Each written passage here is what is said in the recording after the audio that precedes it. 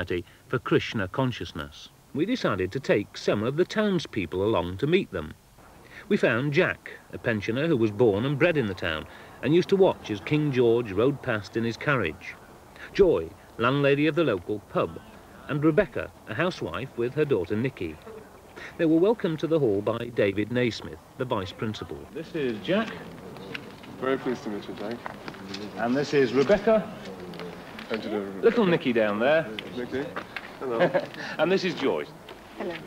Pleased to meet you, Joy. Well, can I leave you to it? If you'll introduce them and take them round. All right. Way out in the country. Oh, it's a gorgeous spot though, isn't it? Oh, yes, no been doubt about that at all. It's, It's uh, an ideal for And environment you've for been on It's ideal for children, too. It's a lovely old place. It's uh, sort of dominated the area for, for well, for so long.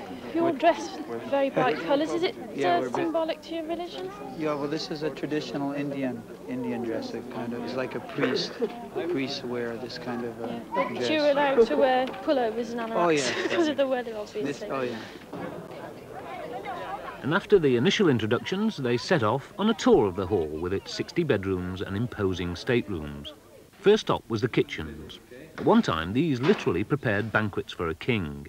Now it's all vegetarian. Even the wine cellars have gone, as the group doesn't drink alcohol. In fact, they don't smoke or even drink tea and coffee. From there, it was to the stables, now schoolrooms for the children.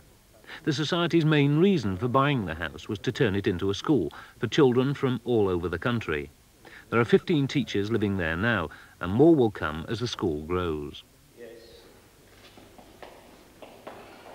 Next one, Shrigan Harry. What's your reaction now you have met them? uh, they, they seem very kind people.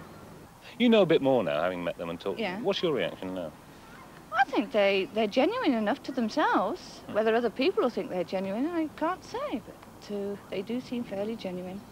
Rebecca, your, your little girl's having a, a ball over there. Yes. What's your reaction to them? Um, well, they seem very friendly. Uh, one thing I was surprised is that they don't give up their worldly goods, which is something that you'd Yeah. imagine they did.